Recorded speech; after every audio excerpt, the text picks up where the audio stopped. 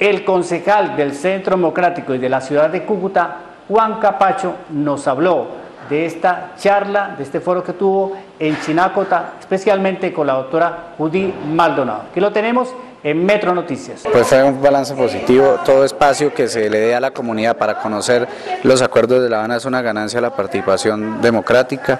Eh, impulsamos el no, impulsamos el no porque los acuerdos de La Habana generan impunidad, los autores de los peores delitos de lesa humanidad irán a este Tribunal Especial para la Paz eh, y con solo reconocer que cometieron esos delitos no van a tener un solo día de cárcel que pagar por, esa, por, por esos delitos que cometieron.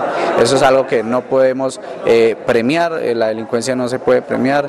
Yo creo que es una razón suficiente para decir no a ese plebiscito, una pregunta tramposa, una pregunta que induce a error, un umbral que se redujo del 50 al 13 y que por todos lados, eh, digamos, está mal concebido y que no le da garantías a la, comunidad ni a la sociedad colombiana. Invitamos a todos a decirle no a la legibilidad de los delitos atroces, no a este plebiscito tramposo, no a que los autores de delitos de lesa humanidad participen en política. Usted como concejal del Centro Democrático, ¿no considera que Colombia ya es suficiente, que tenga 50 años de, de violencia y que necesita realmente la paz?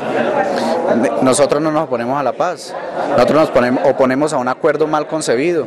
No puede generarse esa impunidad, esa injusticia, ese mal ejemplo para las nuevas generaciones. ¿Acaso en Colombia ser pillo paga? Yo me pregunto, claro que no. Creo que eso genera mal ejemplo y decir no es decirle al gobierno que reoriente los acuerdos, que los reorganice y que no le dé tanta gabela a la FARC y que piense más en la democracia y en el futuro del pueblo colombiano. Bueno, como concejal de la ciudad de Cúcuta, ¿en qué se está trabajando básicamente?